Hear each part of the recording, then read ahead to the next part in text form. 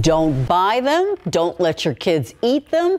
Safety regulators warning about rollerball candy. You often see it at discount stores. 12 On Your Side's Marilyn Moritz explains the dangers in today's recall roundup, which includes some Starbucks holiday mugs as well.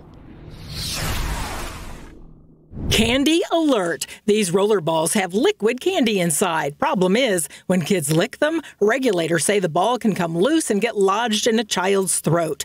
290,000 Happiness USA candies are recalled after a boy had to have surgery to remove the ball. And last year, a girl died when she choked on another brand of rolling candy. Bottom line, the Consumer Product Safety Commission says don't buy any candy of that type, and if you have it, throw it out.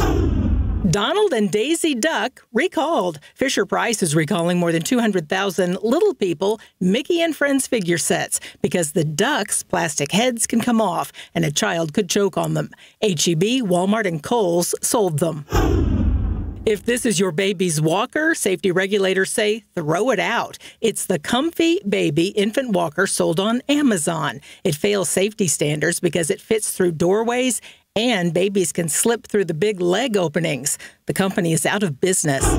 And Nestle is recalling more than 400,000 Starbucks mugs. The metallic holiday mugs can break when microwaved or filled with extremely hot liquid. Nine people suffered severe burns. The gift sets were not sold at Starbucks, but at other stores. Take them back. Marilyn Moritz, KSAT 12 News.